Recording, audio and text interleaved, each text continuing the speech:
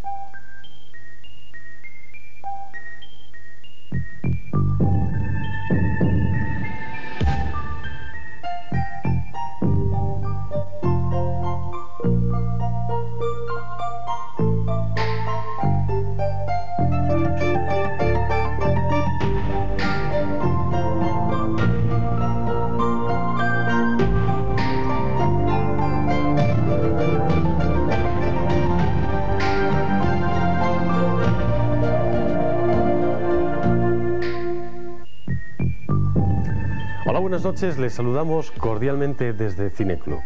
La matanza del día de San Valentín que hoy les presentamos fue una película que llevaba mucho tiempo rondándole la cabeza a Roger Corman, el productor y director más prolífico y económico de Hollywood, el cual inicialmente no pudo hacer este trabajo debido a su alto coste de producción.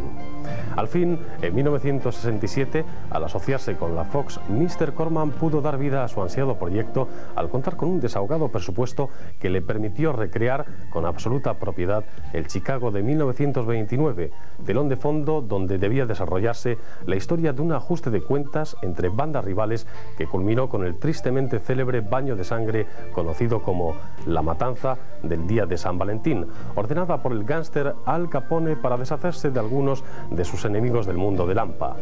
La película, que cuenta con un buen guion de Howard Brown, escrito bajo la tutela del propio Corman, está realizada de forma casi documental e interpretada por un reparto de eficaces actores entre los que destaca Jason Rowards como un despiadado Al Capone, secundado por Ralph Meeker, George Seagal y una larga lista de intérpretes donde, si se fijan con atención, podrán descubrir a un jovencísimo Jack Nicholson en un minúsculo cometido.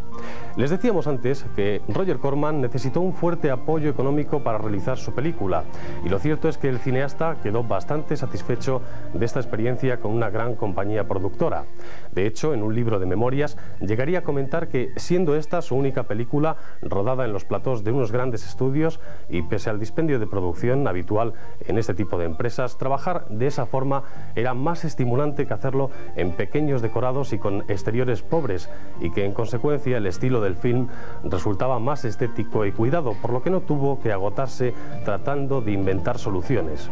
Igualmente Corman aseguró que todo lo que cuenta la película es auténtico y que había sido rigurosamente investigado y comprobado antes de llevarlo al cine, estando seguro que esta era la única película de Gaster históricamente más acorde con los hechos reales.